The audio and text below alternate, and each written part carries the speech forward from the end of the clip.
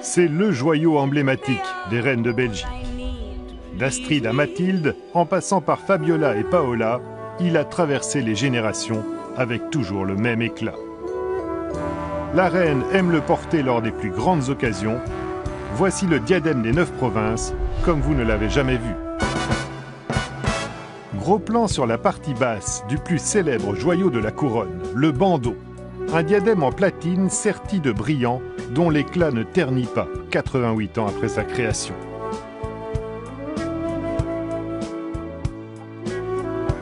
Nous sommes en 1926. Astrid, future reine des Belges, épouse le prince Léopold, fils d'Albert Ier. Comme le veut la coutume, le peuple belge offre à la nouvelle princesse un écrin pour sa beauté. Le diadème est le fruit d'une souscription lancée au sein du peuple belge. Il est offert en cadeau à la princesse peu de temps après les noces. Quatre mois après le, mariage, le diadème a été livré euh, au palais. C'est une création d'un joaillier belge qui s'appelle euh, Alphonse van Bever.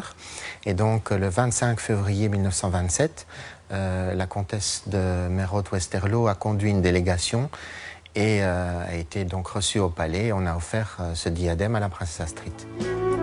Elle porte le bijou pour la première fois dès le lendemain, lors du bal de la Grande Harmonie. Comme on peut le constater, le bandeau, la grecque, est alors surmonté de 11 diamants, gros comme des noisettes.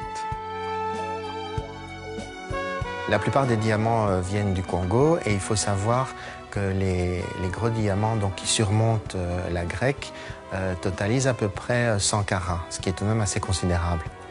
Ces diamants représentent les neuf provinces de l'époque, plus le Congo, unis autour de la maison royale. Un diadème de style art déco, très tendance alors, mais la princesse Astrid ne l'apprécie qu'à moitié. Elle le portera le plus souvent en bandeau, et quand elle monte sur le trône, en 1934, elle le fait transformer. Le diadème acquiert alors tout son éclat. On a ajouté des, motifs euh, en pointe, euh, on dit des motifs euh, rhomboïdaux, autour des, gros diamants de, la partie supérieure. Et, mais ça reste un diadème tout à fait transformable et adaptable à de multiples événements. Le diadème des neuf provinces peut être scindé en plusieurs parties. Les diamants peuvent être montés en collier et la grecque est transformable en bracelet. Comme ici sur la princesse Liliane, seconde épouse de Léopold III, qui ne portera jamais le diadème dans son entièreté. C'est une question de mode et une question de goût, c'est-à-dire qu'on peut aussi l'adapter, le faire évoluer au cours du temps, et puis, euh, je dirais, le, ressortir au bon moment.